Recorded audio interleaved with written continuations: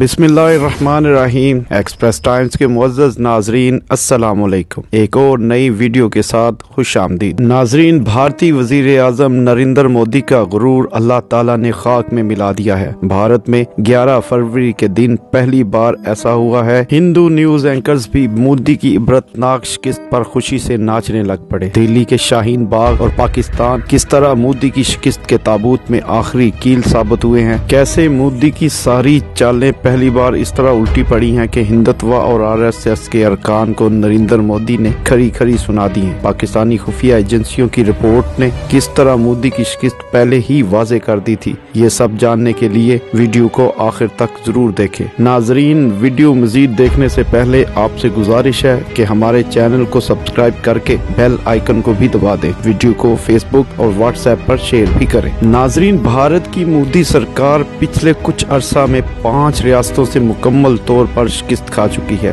مہاراشٹرا، جھارکھنڈ چھتیس گڑھ مدھیہ پردیش اور گزشتہ روز دہلی۔ یہ وہ ریاستیں ہیں جہاں نریندر مودی کو عبرتناک شکست کا مزہ چکنا پڑا۔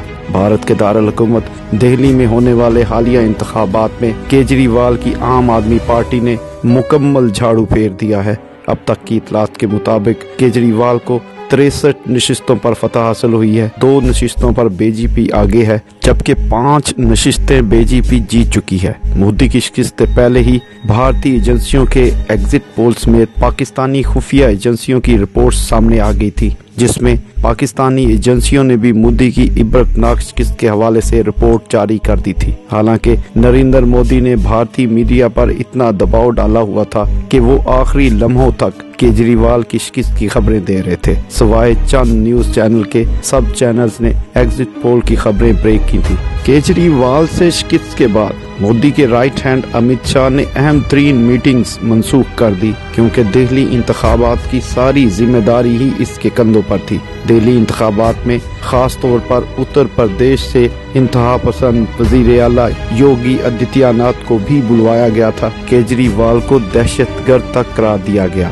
مگر ان سب باتوں کے باوجود نریندر مودی کی انتہا پسندانہ پالیسی کو اتنا بڑا جھٹکا لگا کہ بھارتی میڈیا پر پروگرام اینکرز بھی مودی کی شکست کے بارے میں بات کرتے ہوئے خوشی سے ناچنے لگے۔ دہلی کے کیجریوال نے عوام کے لیے کئی ایسے منصوبے مکمل کیے جو ان کی کامیابی کا سبب بنے۔ لیکن نریندر مودی کی پوری کی پوری انتخابی مہم صرف اور صرف پاکستان شہریت act, N R C Shaheen Bagh اور بابری مسجد تک ہی محدود رہی، جبکہ کیجریوال کی سیاسی مہم صاف پانی، تعلیم، صحت اور سستے راشن کے حوالے سے کافی پذیرائی حاصل کرتی رہی۔ دہلی کی عوام نے مودی کو ایک جھٹکے میں مسترد کر دیا۔